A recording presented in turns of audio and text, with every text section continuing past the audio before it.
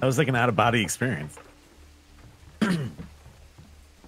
He's found a dead body, guys. There's, there's only one dead body. I assume. Hey guys. Hey. uh,